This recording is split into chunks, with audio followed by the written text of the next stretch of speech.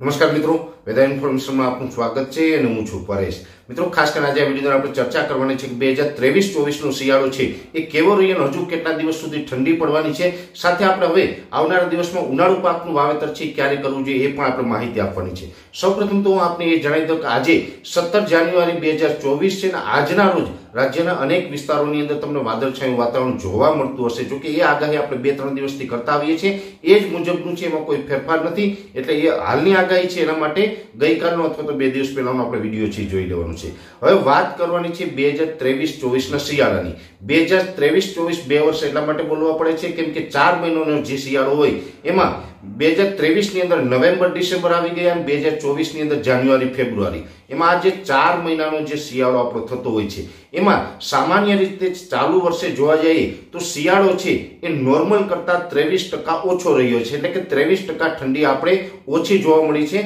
શિયાળો છે એ આપણે સિત્તેર ટકા પસાર થઈ ચૂક્યો છે. હવે માત્ર શિયાળો છે એ ત્રીસ ટકા બાકી રહ્યો છે. છતાં પણ જોવા જઈએ તો સિત્તેર ટકા શિયાળો પસાર થઈ ગયો. એની અંદર બેથી ત્રણ રાઉન્ડ છે ઠંડીના સારા એવા જોવા મળ્યા હતા.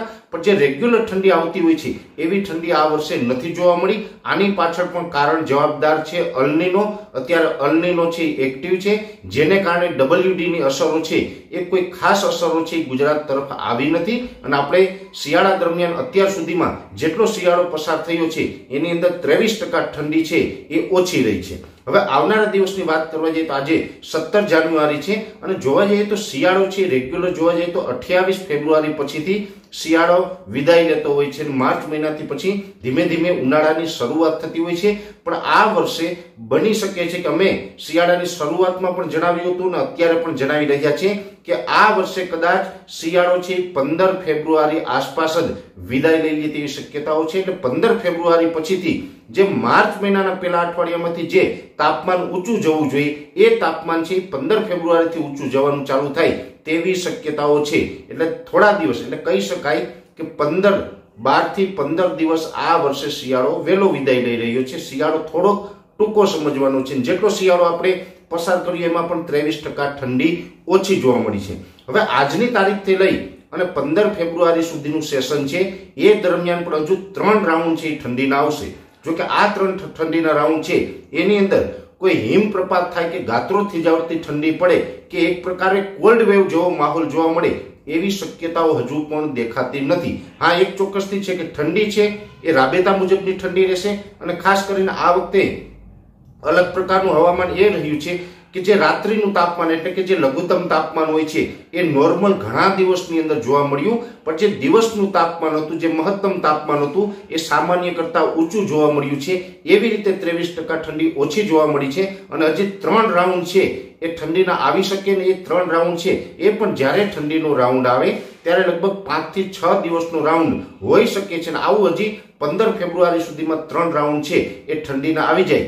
તેવી શક્યતાઓ છે. અત્યારે આજે સત્તર તારીખ છે હજી ઓગણીસ તારીખ સુધી પણ જે પ્રકારે ઠંડી છે કન્ટિન્યુ જોવા મળશે. ઓગણીસ તારીખ પછી થોડીક ઠંડીમાં ઘટાડો થઈ શકે છે. પણ એ પછી પણ પાછા બેથી ત્રણ રાઉન્ડ છે એ ઠંડીના જોવા મળશે. અને ખાસ કરીને આ જે ઠંડીનો માહોલ છે, જો કે આ વર્ષે ઘણા બધા વિસ્તારો એવા છે કે જેમાં પાણીની સમસ્યા છે, જેને કારણે ખેડૂતો છે ઉનાળુ પાક માટે ઉતાવળ કરતા હોય. એ દરેક ખેડૂત ભાઈઓને મારી અહીંયા ભલામણ રહેશે કે હજુ ઉનાળુ વાવેતર કરવા માટે હવામાન અનુકૂળ ન ગણાય, કેમ કે અત્યારે ઉનાળુ પાકની અંદર તમારે અડદ, મગ, તલ, મગફળી અથવા તો અન્ય બીજા કોઈ વાવેતર કરવાના હોય, તો એ વાવેતર અત્યારે તમે કરશો તો જર્મિનેશન ઓછું આવશે. એટલે કે બિયારણનો ઉગાવો છે એ ઓછો આવશે ને એમાં આપણે ક્યાંય ને ક્યાંય નુકસાની આવી શકે છે. એટલે વાવેતર કરવા માટે હમણાં રાહ જોવાની છે. પાણી ન હોય તો પણ રાહ જોવી, કેમ કે અત્યારે વાવેતર કરવામાં આવશે તો ખેડૂતોને નુકસાની જશે. એક તો ઉગાવો ઓછો આવશે અને હજુ પંદર ફેબ્રુઆરી સુધી ઠંડી પડવાની છે,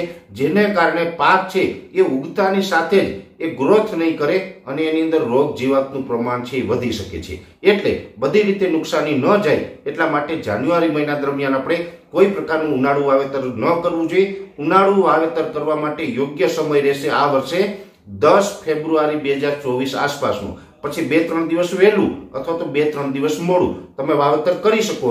પણ દસ ફેબ્રુઆરી આસપાસ જો ઉનાળુ પાકનું વાવેતર કરવામાં આવશે, તો એ આપણા ખેડૂત ભાઈઓ માટે લાભદાયી રહેશે. એટલે દરેક ખેડૂત ભાઈઓએ આ તમામ વસ્તુની ગંભીરતાથી નોંધ લેવાની છે. એટલે બે હજાર ત્રેવીસ ચોવીસનો શિયાળો છે. એ છેલ્લા એક દાયકાની અંદર આપણે થોડોક વીક રહ્યો છે, નબળો રહ્યો છે. આવનારું સેશન જે ઉનાળાનું છે, એ આપણા માટે જો સારું રહે તો પણ એની જે અસરો છે, એ ચોમાસા દરમિયાન પડતી હોય આપણા માટે ચોમાસું એક સારું નીવડી જાય. બાકી કહી શકાય કે શિયાળો છે આ વર્ષે કોઈ ખાસ સારું પરફોર્મન્સ શિયાળાએ બતાવ્યું નથી. જે વાત આપણે સત્ય છે એ સ્વીકારવી રહેશે. અત્યારે આ વિડીયોની અંદર એટલું જ. અંતમાં દરેક મિત્રોને વિનંતી રહેશે જે મિત્રો આપણી ચેનલને સબસ્ક્રાઇબ નથી કરેલી, એ મિત્રો ચેનલને સબસ્ક્રાઇબ કરી લેવી, જેથી કરીને આપણા તમામ વીડિયો છે એ સૌથી પહેલાં આપને જોવા મળી શકે અને વિડીયોને લાઇક આપીને દરેક ગ્રુપમાં શેર કરવું, જેથી કરીને અન્ય ખેડૂત ભાઈઓને પણ આ માહિતી મળી શકે. રજા આપશો ધન્યવાદ.